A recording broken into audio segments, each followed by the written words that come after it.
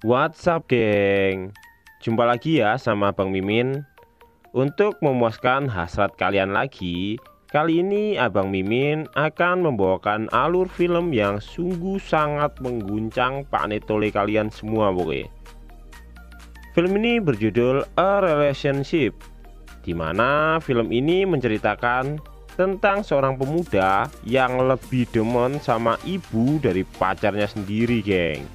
Gemblung tau Oke daripada banyak ngoceh langsung saja ya. Abang Mimin bawa aja kalian ke alur filmnya.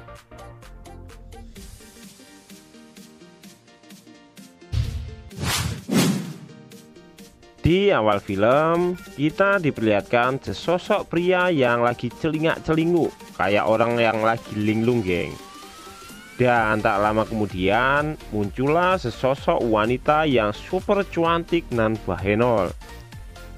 Pria yang celingak-celinguk tadi kita kasih nama Kosim ya geng. Dan si wanita bahenol kita kasih nama Tulkiem Jadi gini geng Kenapa Kosim di awal tadi celingak-celinguk? Ya karena Kosim ini lagi mencari pacarnya dan baru pertama kali juga ke rumah pacarnya. Iyo jadi celingak celinguk koyo wong linglung no geng. Hehehe. Sedangkan pacar dari Kosim ini adalah anak dari Tulkiem. Wis mudeng toh. Oke dilanjut. Lah karena pacarnya belum pulang Si Tulkiem ini menyuruh Kosim untuk menunggu anaknya di dalam rumah geng lah sambil nunggu pacarnya pulang Kosim ini ngobrol-ngobrol sama Tulkiem. Dan sedikit-sedikit memuji kecantikan dan kesemokan Tulkiem geng. Yo biasa lah geng. Basa-basi dikit sama calon mertua. Iya toh. Tapi respon dari Tulkiem ini malah bikin Kosim deg-deg ser geng.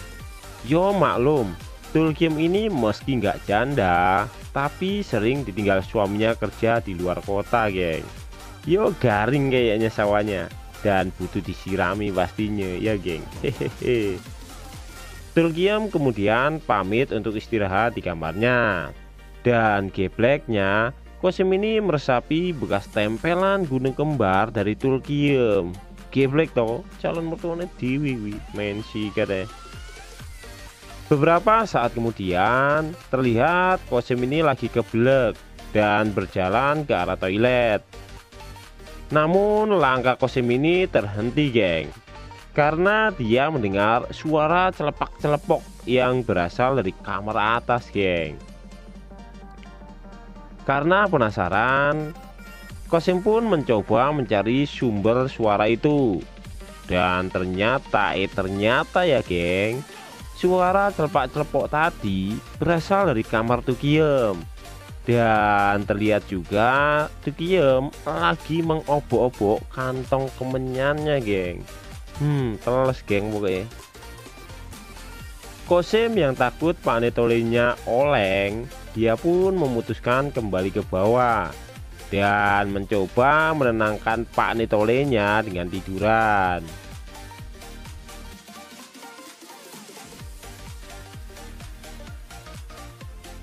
Beberapa saat kemudian Tukiem ini turun dan melihat Pak Netole Kosim yang tegap berdiri geng Dia pun mencoba untuk memainkan Pak Netole Kosim Namun belum sempat melakukannya. Dia mendengar kalau anaknya yang bernama Surti sekaligus pacar dari si Kosim ini pulang. Aduh melas menyem-nyem Surti pun lalu membangunkan Kosim dan mengajaknya untuk ke kamar. Karena niatan Kosim datang dari awal yo emang mau belajar bareng geng. Hehehe belajar ngeplek geng. Pada malam harinya mereka bertiga ini terlihat makan malam bersama geng. Saat lagi menikmati makanan tangan Tukiem ini bergentayangan ria geng di sela-sela pupu dari Kosim Aduh, bener-bener kerenyang-kerenyang tenan gitu loh game geng. Dan di sini Kosim juga ngomong kalau dia besok lusa akan mengikuti tes untuk masuk universitas. Dan karena rumahnya jauh, Kosem pun meminta izin geng untuk besok lusa menginap di rumah Tukiem. Dan mereka tidak keberatan. Pada pagi harinya, terlihat Kosem ini datang lagi geng ke rumah Tukiem dengan dali ingin ketemu Surti. Dan Kosem ini sengaja geng datang lebih pagi karena Kosem tahu kalau jam-jam segitu Surti ini belum pulang sekolah.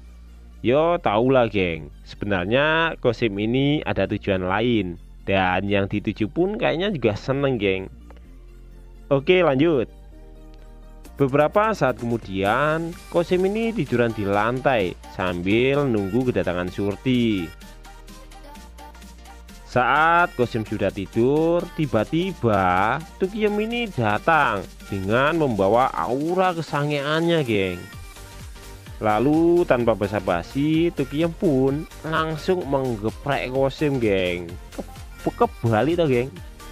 Seorang aku guys yang digeprek. Pada malam harinya, terlihat Kosim dan Surti sedang belajar bareng di kamar. Lalu Tukiyem datang dan menyarankan Kosim untuk mandi terlebih dahulu.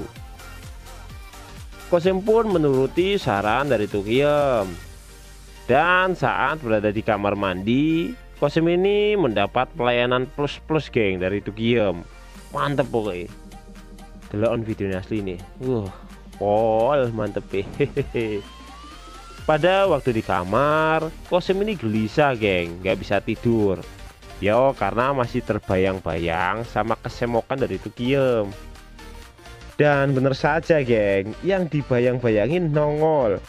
Terlihat Tukiem ini datang ke kamar Kosim Dan hanya menggunakan kancut. Lalu adegan yang kita inginkan pun terlaksana geng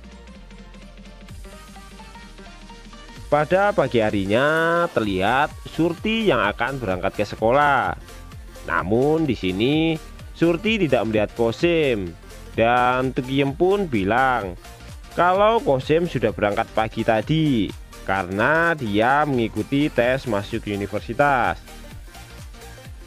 Tapi eh tapi ya geng, itu tadi cuma siasat Tukiem geng. Karena sedari tadi si Kosim ini ngumpet di lemari. Dan sesungguhnya Kosim ini nggak ikut tes untuk masuk universitas. Tapi ikut tes masuk ke lubang kenikmatan gitu geng. Aku ya gelem. Dan film yang mengacungkan ini pun berakhir geng